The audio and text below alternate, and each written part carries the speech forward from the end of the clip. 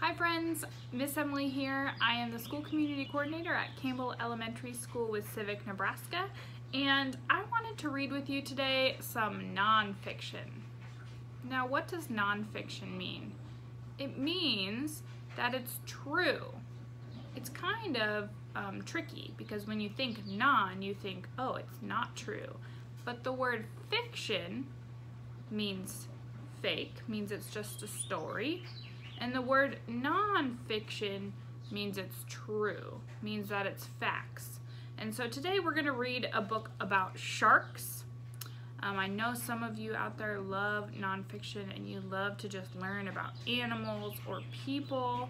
Um, you like to read biographies, you like to read um, books that have facts in them. So we are going to read Amazing Sharks, um, written by Sarah L. Thomson. Part from the, partly from the Wildlife Conservation Society.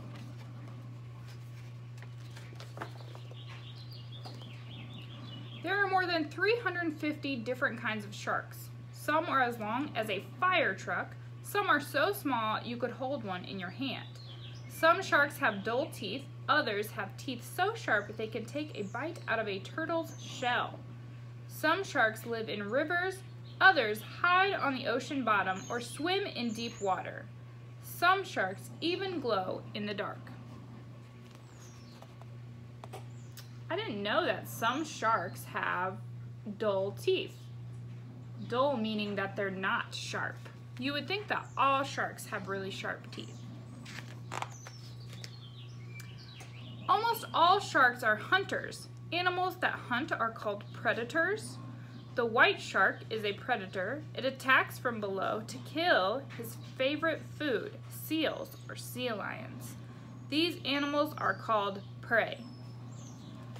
So if you have ever seen the movie um, Zootopia, they talk a lot about predators and prey. Predators are the animals that would possibly eat other animals, and prey are the animals who have to run from those animals. The white shark can grow as long as a pickup truck. A whale shark can be as long as two white sharks. Its mouth can be wider than your front door. It is the biggest fish in the world, but it eats mostly tiny animals, smaller than your fingernail.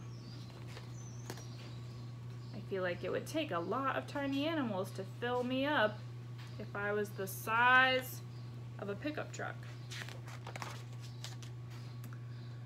The angel shark hides under the sand and waits for a fish to swim by. Then the shark rushes out to eat it. The cookie cutter shark takes just one bite out of a fish, a whale, or a seal.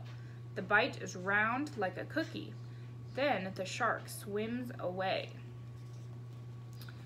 This shark you can barely see because it's camouflaged on the ocean floor.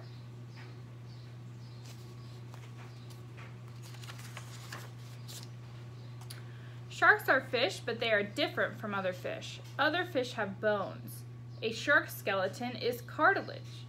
Your ears and nose are made of cartilage. It bends more easily than bone. A shark can bend and twist to turn quickly when it is swimming.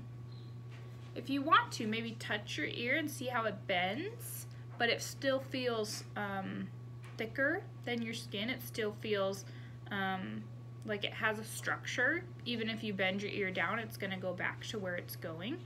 Um, that is made of cartilage, which is also what sharks are made of.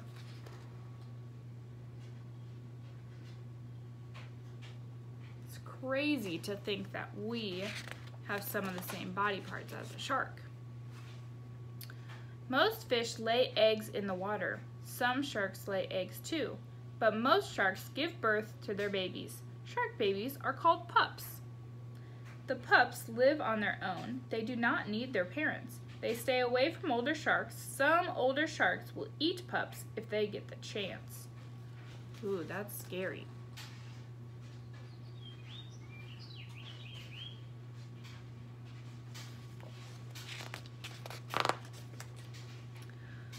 Some sharks eat stingrays or spiny sea urchins. Many eat other sharks. Tiger sharks have eaten tin cans and metal wire.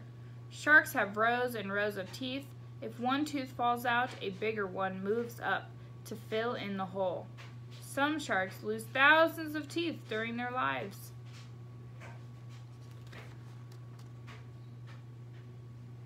When we lose teeth, we only get one set again.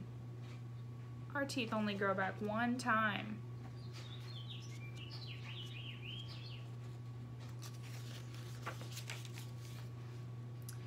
Sharks have many senses to help them find food. A shark can hear a fish in the water from more than a mile away. It can smell one drop of blood in a million drops of water. A shark can see well underwater. A hammerhead shark has one eye on each of its long each end of its long head. No one is sure why.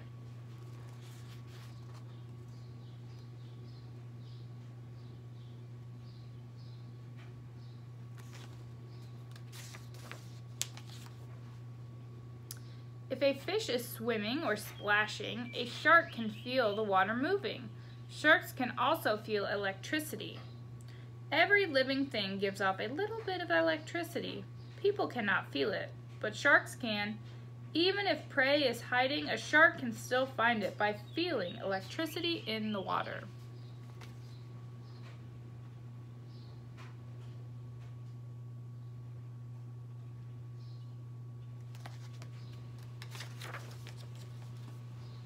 Many people are afraid of sharks, but most sharks leave people alone. You are more likely to be hit by lightning than to be killed by a shark. People kill sharks every day. They eat shark meat or make their fins into soup. They catch fish in huge nets. Many sharks are killed by mistake in these nets. People have killed more than half of all the sharks in the world.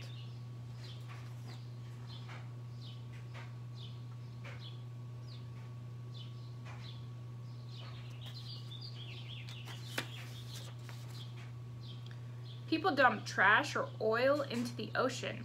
They put up buildings near the shallow waters where shark pups live and grow. These waters are called nurseries. If a nursery is destroyed, pups may be eaten by bigger fish or other sharks. They will not grow up and have pups of their own.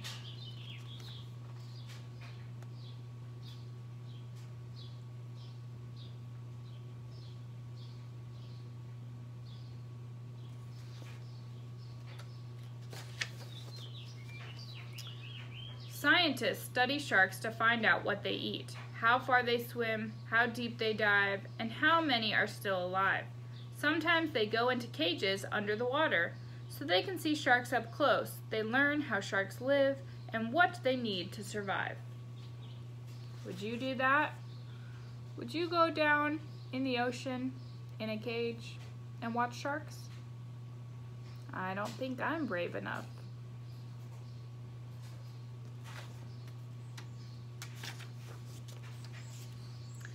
The ocean needs predators like sharks. Sharks hunt fish and other animals. It is easy for a shark to catch a fish that is weak or sick, but strong and healthy fish escape. The fish lay eggs and have babies. Their babies grow up and be strong and healthy too.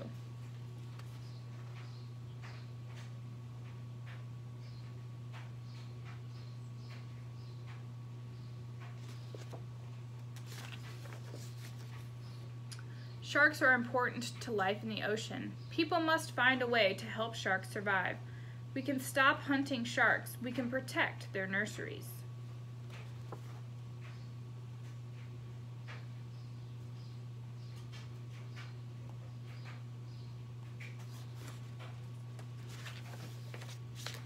We can teach other people why we need to have sharks in our world.